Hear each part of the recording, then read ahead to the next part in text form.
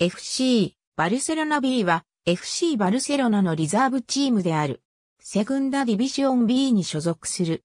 ミニエスタディ FC バルセロナの下部組織のうち最上位に位置しており、FC バルセロナ B の上にはトップチームしかない。年齢別カテゴリーであるフベニル A 以下のカンテラの最終地点となるカテゴリーであり、ここで活躍が認められようやくトップチームに昇格することができる。ただし、トップチームである FC バルセロナは世界有数のビッグクラブであり、各国のスター選手を獲得することも多いため、決して昇格することは容易ではない。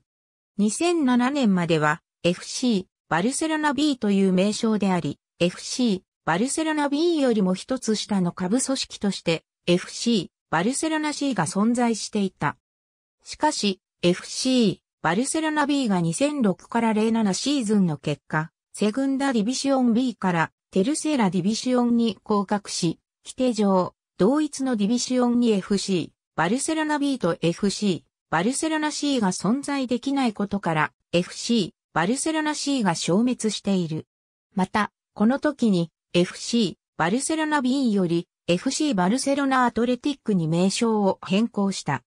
選手を育成し、トップチームへ輩出することがチームの目的であるとの理由から2010から11シーズンより FC バルセロナ B へと再び名称を変更した。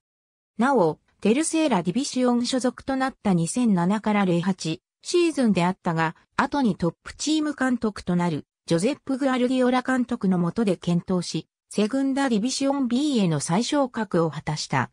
また、2009から10シーズンには、同じく後にトップチーム監督となるルイス・エンリケ監督の下で好成績を収め、セグンダディビシオンに昇格している。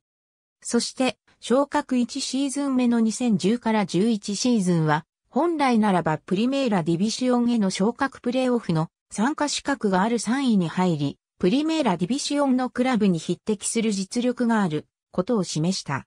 2017年6月25日、ラシン・サンタンデールとのプレーオフで2戦、合計4から1と勝利し、3年ぶりのセグンダ、ディビシオン昇格を果たした。10、選手の国籍表記は FIFA の定めた代表資格ルールに基づく。括弧内の国旗は、その他保有国籍、もしくは市民権、星印は EU 圏外選手を示す。10、選手の国籍表記は FIFA の定めた代表資格ルールに基づく。10、選手の国籍表記は FIFA の定めた代表資格ルールに基づく。ありがとうございます。